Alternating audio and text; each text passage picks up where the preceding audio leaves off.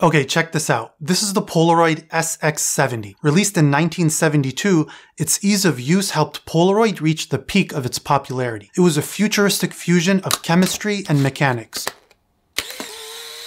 But the Polaroid became so much more than the sum of its parts. In the words of Don Draper, the technology was a glittering lure. But uh, there's the rare occasion when the public can be engaged on a level beyond flash if they have a sentimental bond with the product. And that bond is why the brand has come full circle. After going bankrupt with the rise of digital photography, Polaroid has made a comeback in recent years. Companies now specialize in restoring cameras just like this, and thanks to the Impossible project, Polaroid itself was resurrected, and they and others like Fujifilm have been releasing new versions of the classic instant camera. But is it all just fleeting nostalgia, or is there a real longing for the analog experience in a digital world?